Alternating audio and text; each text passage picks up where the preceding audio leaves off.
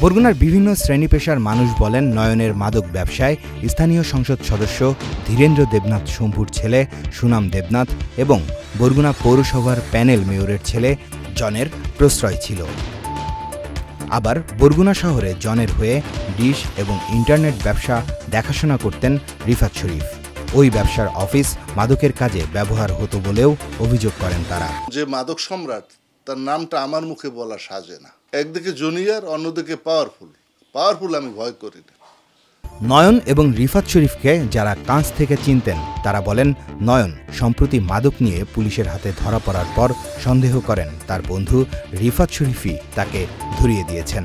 এরপর রিফাত শরীফকে যখন পুলিশ মাদকসহ গ্রেফতার করে তখন নয়ন তার ভিডিও করে ছড়িয়ে দেন। নয়নই পুলিশ দ্বারা ওকে ধরাইছে। ধরাইছে বলতে নয়নের কাছে ইনফরমেশন ছিল হয়তো যে রিফাত শরীফ মাদকদ্রব্য নিয়ে যাচ্ছে। আপনারা ভিডিও হয়তো দেখছেন। তো তখন এবং সেই ভিডিওটা রিফাত শরীফকে যে ধরছে পুলিশে, সেই ভিডিওটা কিন্তু নয়ন করছে।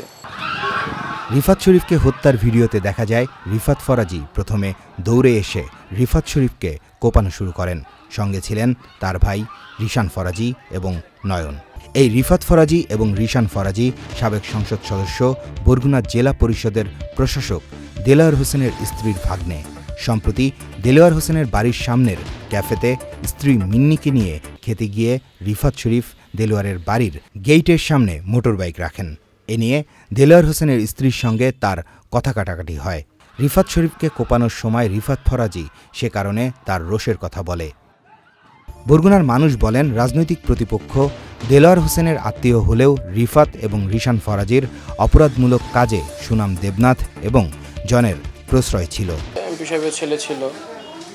তাদের সাথে যে এখন যে মাদক ব্যবসা আছে তখন তাদের সাথে একটা সম্পর্ক ছিল। তাদের কারণে ছত্রছায়ার কারণে কি আসলে ধরা হচ্ছে না? এই যে নয়ন বন কি করে নাই এই শহরে?